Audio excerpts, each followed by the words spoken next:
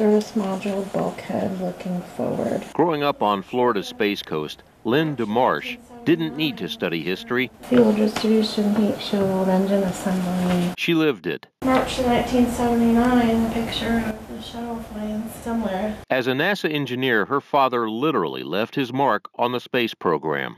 He was there in the beginning. When he passed away last year at the age of 100, it was the beginning of a difficult time for Lynne. My dad passed away in March. I got the um, metastasis diagnosis in August. Lynne had been battling cancer off and on for 10 years, and it had returned. Oh my gosh, what do I do now? And then my brother passed away. Thanksgiving was pretty lousy. Faced with these setbacks and a new year approaching, Lynne turned to her faith to turn things around. What happened next, she never could have expected. I was kind of praying. I just kept saying, okay, if you're listening up there, you gotta give me something. That something turned out to be the results of a DNA test she took late in the year. So on January 1st, I was driving over to my dad's house, as I did, to check on things. And I happened to look at my email, and it said my results were back. So I took a look, and it said British, Irish, French, and German. Quite a shock for a woman whose parents were of Italian ancestry. What's happening there? A short time later, Lynne heard from a woman who claimed to be her sister.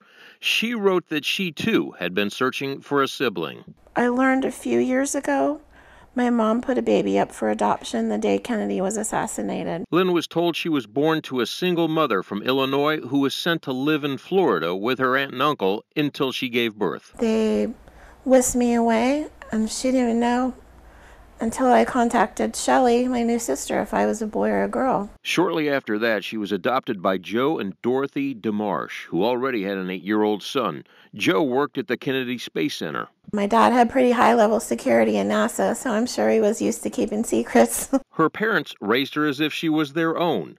They bonded almost immediately. Lynne says she was especially close to her father. I always felt me and my dad were we were the ones that had the connection. It almost makes me love them more that they took me in and always made me feel like family. But never knowing that another family existed and that one of them would one day search for her. She hired a private investigator to try to find me. All that changed in January when she discovered a sister who wouldn't give up and a mother who never forgot. She said that, you know, every year around my birthday, she would think about me and wonder what happened. You nervous? Yeah. then in February, Lynne and her sister met for the very first time.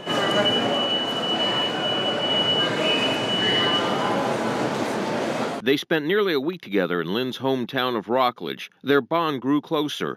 Even though she's still undergoing cancer treatments, Lynne soon plans to travel to Arlington, Virginia, and meet the mother who made that difficult decision all those years ago. She said she feels bad about it, and I said, hey, don't feel bad. I had a wonderful life. I had everything I wanted, and I had the most dedicated parents possible. Gosh, it's just amazing. I think somebody was looking for me.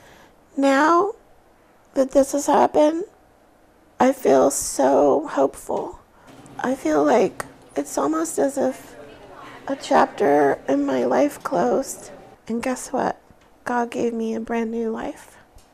So I just, I feel like the future is unlimited now.